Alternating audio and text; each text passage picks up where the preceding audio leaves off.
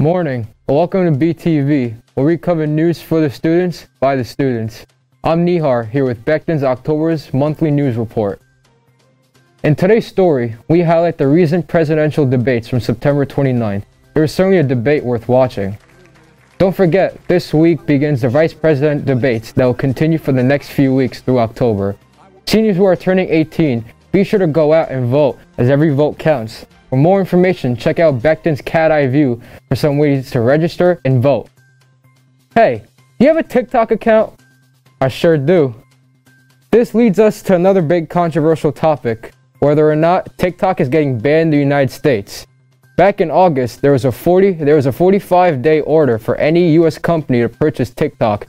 And now as recently, there hasn't been any offers. Earlier, TikTok was going to get banned off the App Store, but rumor has has it TikTok has been bought by Oracle. As more information starts to surface, we will be sure to keep you informed.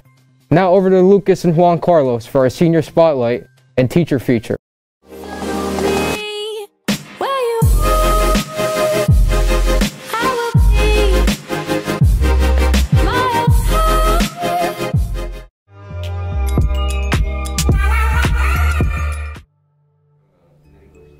Um, well, I've always wanted to become a teacher.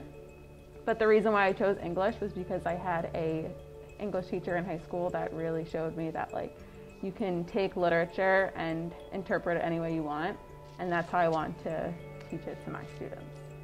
So I actually have two majors that I graduated with in college, and one is English and the other is special ed. So I wanted to do both of them, so I decided to do both of them, which is why I don't only teach English at Becton, I also teach the resource classes, which are special education. So the number one thing I want to teach to all my students is my teaching philosophy, which is that every student is capable of achieving what they want, and it's just the matter of finding what they excel at and then doing the best for it. Two, my door is always open, my email is always open, so I'm always just wanting to make sure that they know that they're comfortable and welcome in my classroom.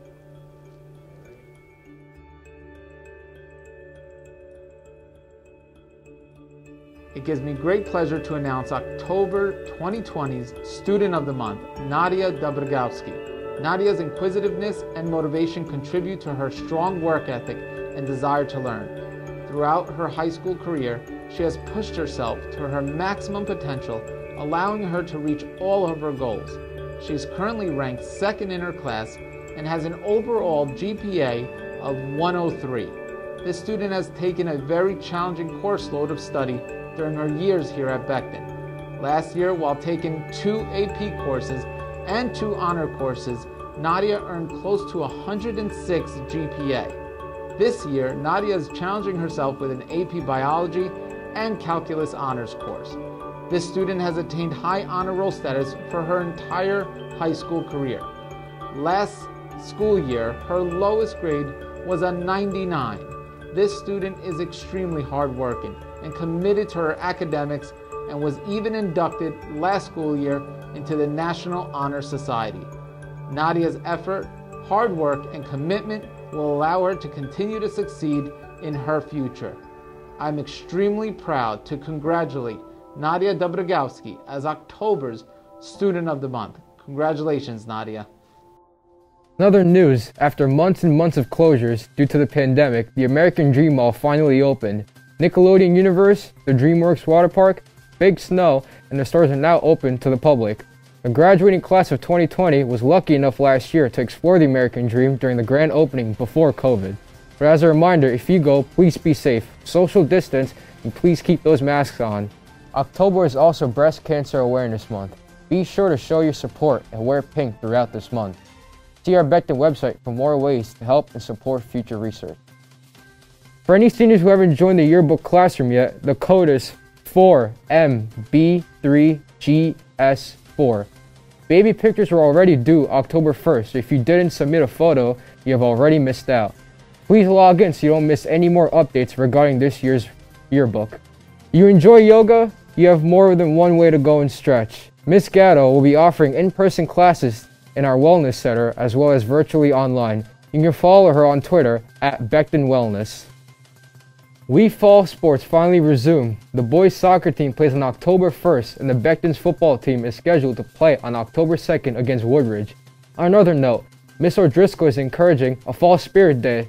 Show your support by wearing any Becton Wildcat apparel and send a quick 5 to 10 second video or a selfie picture showing off your school spirit. To participate, send Miss O'Driscoll an email, jodriscoll at bectonhs.org. Now for the weather forecast.